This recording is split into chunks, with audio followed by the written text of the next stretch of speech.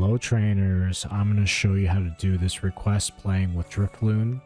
Okay, I'm going to basically show you where the Prelude Beach is because I noticed it's not on the map. I thought that was kind of strange. Um, so if this video helps you, please like it and uh, don't subscribe to me.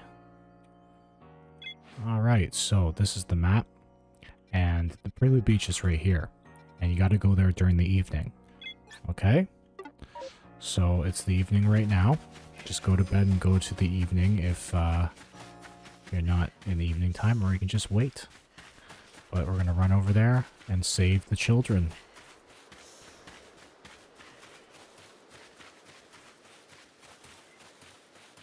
This is the same beach that uh, you start the game in.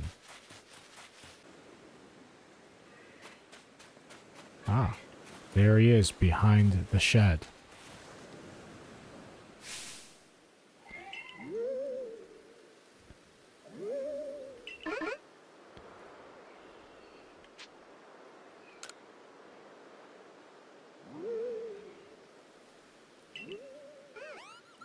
Alright, so you basically just tell them to go away. You don't even have to battle them.